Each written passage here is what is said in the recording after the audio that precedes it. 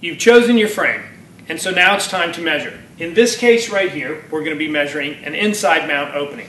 So you want to make sure you have a steel tape measure, and you're going to measure your extreme top, your middle, and your bottom.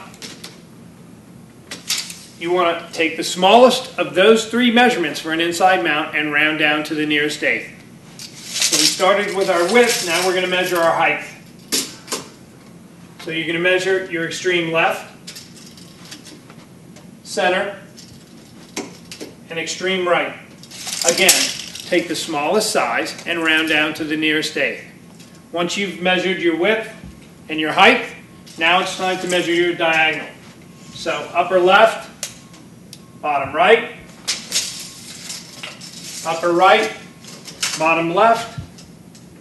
You want to compare these two, and if it's too far out of square, then you want to consider doing an outside mount application versus an inside mount application.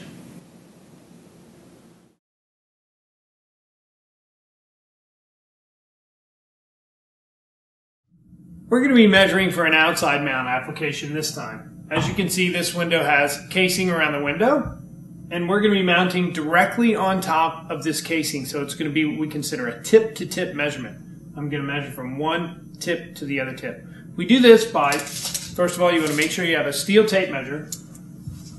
Put the edge of your tape on one side, all the way to the other tip. It's going to be your measurement. You want to measure the extreme top, the middle, and the bottom at the sill.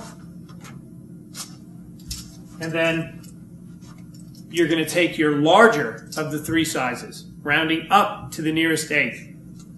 You're going to do your height the same way.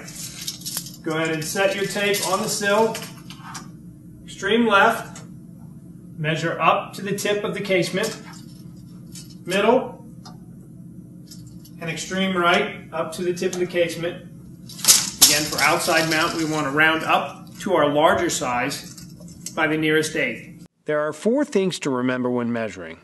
Always measure the width in three places top, middle, and bottom. Measure the height in three places as well left, center, and right. For the final measurement, round down to the nearest 1 8 inch for inside mount applications and round up to the nearest 1 8 inch for outside mount applications.